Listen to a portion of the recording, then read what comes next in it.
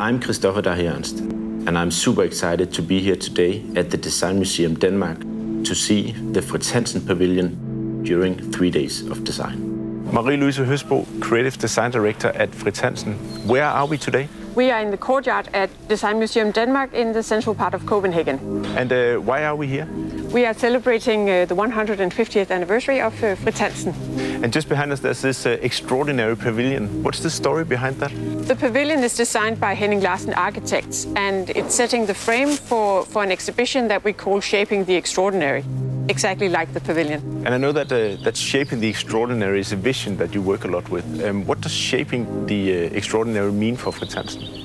Shaping the Extraordinary is uh, doing uh, co-creations with uh, visionary uh, designers, Danish and international, and creating pieces of design that stand out. And speaking of design, there's a, there's a bridge between heritage pieces and new design, of course. How do you merge those two? The pavilion by Henning Larsen is the frame uh, to show how, uh, how uh, heritage pieces connect with contemporary pieces and showcasing that everything has a, has a relevance in this unique space. Joining me now is uh, Eva Raumborg from Henning Larsen. What are the thoughts behind this, uh, this beautiful pavilion right behind us?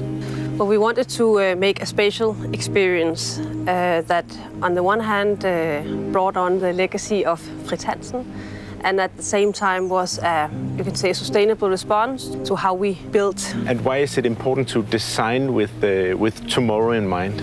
For us, it's a, it's a great opportunity to actually showcase how we can work with design for disassembly. So every piece can be taken apart and therefore it's, uh, it's, it's to be repurposed uh, in a next life. And speaking of, uh, of this exact pavilion and, uh, and the repurpose of it, how is it going to, uh, to have an afterlife after these uh, three days? It will uh, actually continue to, to be here at the, the Design Museum in the garden throughout the summer for, uh, for various workshops and, and creative makerspaces. And then we take it apart and it's being, being moved to, uh, to the headquarters of Fritz Hansen in Allerød where they will reuse uh, all, all parts. So, uh, so here's to the first 150 years from Fritz Hansen. What do the next uh, 150 years hold? We will continue to pay respect to our history, to our legacy, and we will strive to, uh, to continue to make relevant pieces of furniture with visionary designers. Hopefully, the pieces will be in people's homes 150 years from now.